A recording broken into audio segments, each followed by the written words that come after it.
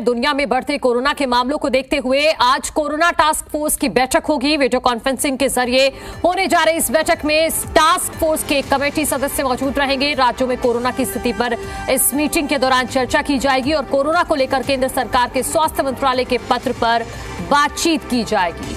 कल ही केंद्रीय सचिव ने सभी राज्यों को एक पत्र लिखा है और सभी पॉजिटिव केसों की जीनोम सीक्वेंसिंग कराने के लिए कहा है और आज कोरोना टास्क फोर्स की ये बैठक वीडियो कॉन्फ्रेंसिंग के ज़रिए अब से कुछ देर बाद होने जा रही है।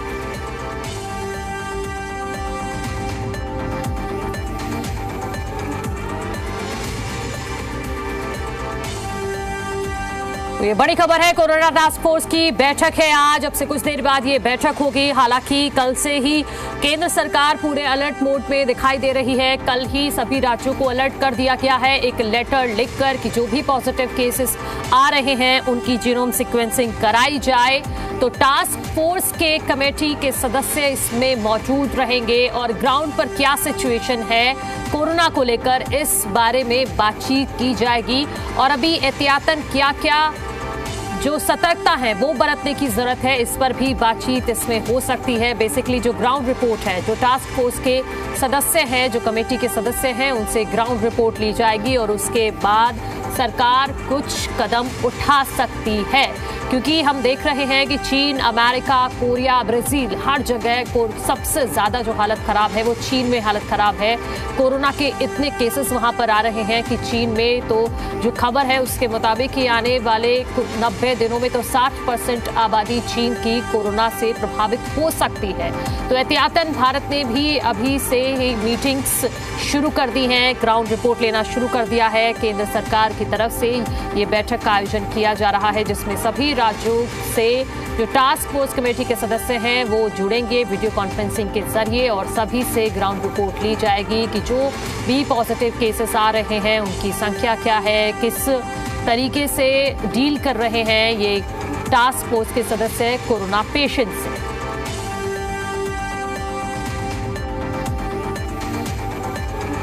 तो ये बड़ी खबर है। अब से कुछ देर बाद ये बैठक होगी। वीडियो कॉन्फ्रेंसिंग के ज़रिए ये बैठक होगी और जो बार बार सरकार ये भी सलाह दे रही है कि भीड़ में मास्क पहने एक बार फिर से।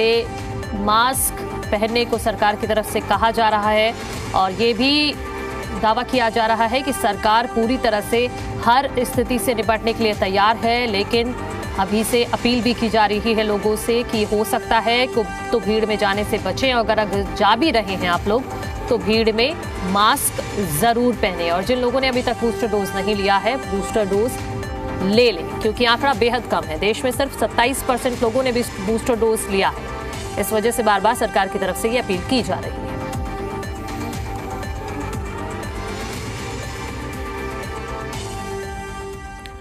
वहीं कोरोना को लेकर स्वास्थ्य मंत्रालय की बैठक हुई। कोरोना खत्म नहीं हुआ, ये स्वास्थ्य मंत्रालय ने कहा है। हर हालात से निपटने के लिए तैयार हैं। बढ़ते कोरोना मामलों पर सरकार की नज़र है। कोरोना पर जानकारों के साथ मीटिंग हुई है। कोरोना जाँच और निगरानी बढ़ाने के निर्देश दे दिए गए हैं। तो जिस तरह से जब शुरुआत में कोरोना आया था देश में तो चीन में हालात खराब थे, लेकिन तब उस तरह से अलर्टनेस नहीं दिखी थी केंद्र सरकार में। लेकिन अब पूरी तरह से केंद्र सरकार अलर्ट दिख रही है। मनसुख मंडाविया की अगुवाई में कोरोना स्वास्थ्य मंत्रालय की एक बैठक हुई है और साफ़ कहा गया है कि कोरोना अभी खत्म नहीं हुआ है।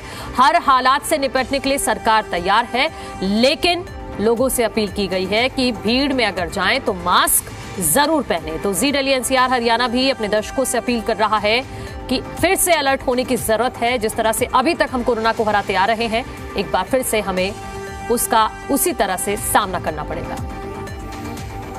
अबंडेंट प्रिकॉशन अगर हम उस तरह बढ़ रहे हैं तो अबंडेंट प्रिकॉशन के क्या मुद्दे हैं?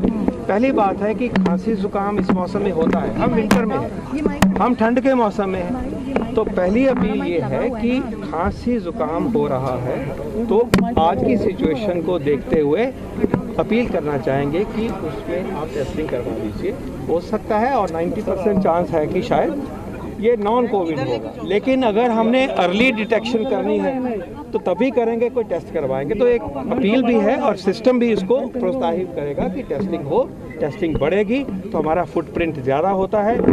प्रॉब्लम जो है वो डिटेक्ट होगी उस वायरस का आइसोलेशन होगा उस वायरस का जीनोम होगा तो हमें पूरी ताकत मिलेगी और हमें समझ रहे कि हम किस तरफ़ बढ़ रहे हैं।